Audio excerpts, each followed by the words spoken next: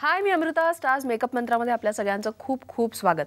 मागच्या भागामध्ये आपण पाहिलं ग्राहक म्हणून जेव्हा आपण एखादं कॉस्मेटिक प्रॉडक्ट विकत घेतो तेव्हा कोणकोणत्या गोष्टी आपण लक्षात घेतल्या पाहिजेत? तर आजच्या भागामध्ये अशाच आणखी एका महत्त्वाच्या विषयाला आपण हात घालणार आहोत.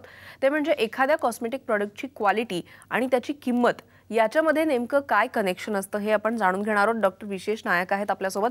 डॉक्टर नमस्कार. डॉक्टर मी एका उदाहरणापासूनच सुरुवात करीन. फेअर फेअरनेस क्रीम असतं एखादं तर ते आपल्याला माहिती आहे एकच क्वांटिटी एकच ट्यूब अगदी तीस पस्तीस रुपयापासून मिळते.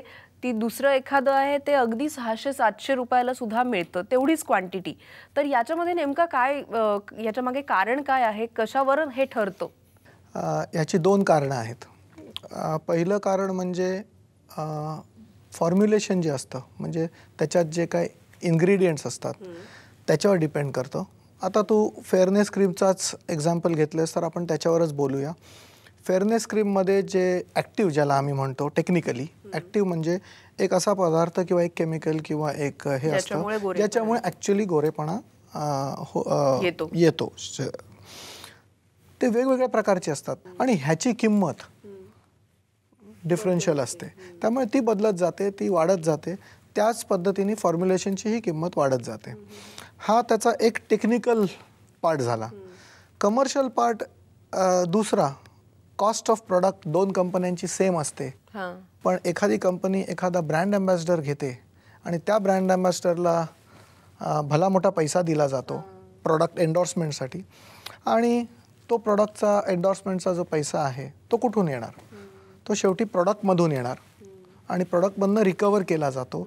आणि प्रॉडक्टला पैसे प्रॉडक्ट विकत घेतो कोण? आपला कन्झ्युमर तुला एक उदाहरणच द्यायचं झालं तर आपल्याच केसमध्ये स्टार्सच्या केसमध्ये आपले बऱ्याचशा पेन्सिल्स लिप ग्लॉसेस वगैरे आहेत जे आपण जर्मनीहून बनवून आणतो एका कंपनीतनं तीच कंपनी जर्मनीमध्ये आमच्या चार पाच कंपन्यांसाठी बनवते.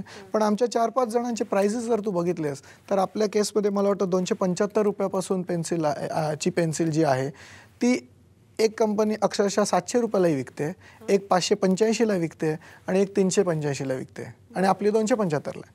आता फरक काय की त्या ज्या कंपन्या सातशेला आणि पाचशे पंच्याऐंशीला विकत आहेत त्यांचे ब्रँड अँबॅसिडर्स हे खूप मोठी नावं आहेत त्याच क्वालिटीचं प्रोडक्ट जर मला दुसरी कंपनी जर देत असेल कमी किमतीत तर मी त्याच्याकडे का दुर्लक्ष? करू नये बरोबर बरोबर डॉक्टर आणखी एक प्रश्न मला इथे विचारायचा आहे जेव्हा आपण एखाद्या प्रॉडक्टच्या किमतीविषयी बोलतोय तर नेलपेंटचं जर आपण उदाहरण घेतलं तर ट्रेनमध्ये वगैरे आपल्याला अगदी दहा रुपयाला पण नेलपेंट मिळतं.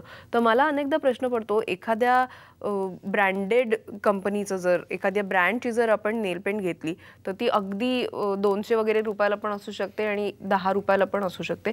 तर हे दहा रुपयाचं परवडतं कसं? गम गमतीचा भाग हाच आहे की दहा रुपयाला जर ते तुझ्यापर्यंत पोचतंय ट्रेनमध्ये तर मग त्याच्या मागचा लॉजिस्टिक्स कॉस्ट मॅन्युफॅक्चरचं प्रॉफिट डिस्ट्रीब्युटरचं प्रॉफिट आणि मग शेवटी ते बनलं. तर मॅन्युफॅक्चरने ते किती रुपयात बनवलं असणार? अगदीच एक दीड रुपयात ते दोन तीन रुपयात ते. बनलं असणार? आता ते दोन तीन रुपयात तो काय त्याच्यात घालून तुम्हाला देऊ शकतो? हा विचार तुम्हीच करायचा आहे. म्हणजे काय? आता तू नेल पॉलिशचाच प्रश्न घेतलास म्हणून सांगतो. नेल पॉलिश हे बनवताना चांगले इन्ग्रेडियंट्स घालून बनवले तर ते तुम्हाला कमीत कमी तीस पस्तीस रुपयापर्यंत रॉ मटेरियल कॉस्ट जाते. तेच जर तुम्ही अगदीच मेलामाइन एक तुम्हाला नावच घ्यायचं तर मेलामाइन घालून जर बनवलं तर it could be as chip जसं तू म्हणतेस. पण हे लोक समजत नाहीत की ते दहा रुपयाचं घेऊन त्याच्यात जर मेलामाइन असलं तर melamine is proven to be carcinogenic आणि त्याच्याने कॅन्सर होऊ शकतो. अरे बापरे. त्यामुळे एक दुसरं त्याच्यात घातलेले रंग जे असतात हे रंगसुद्धा शिड्यूल क्यू कलर्स नसले तर तेही कार्सिनोजेनिक असतात.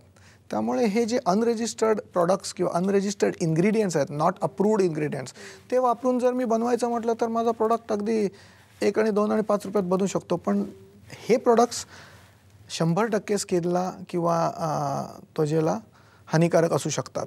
आत्ता आपण मेकअपच्या संदर्भातली जी काही माहिती होती ती बरीचशी माहिती ऑलमोस्ट सगळी माहिती आपण घेतली असं म्हणायला हरकत नाही. त्याच्यामुळे पुढच्या भागापासून आपण एका वेगळ्या विषयाकडे वळणार आहोत. आणि नेमकं आपण पुढच्या भागामध्ये काय पाहणार आहोत हे मी आत्ताच सांगत नाही पण कपड्यांविषयी अतिशय महत्त्वाच्या टिप्स आणि अतिशय महत्त्वाची माहिती आपण घेणार आहोत पुढच्या भागात. आज इथेच थांबूयात.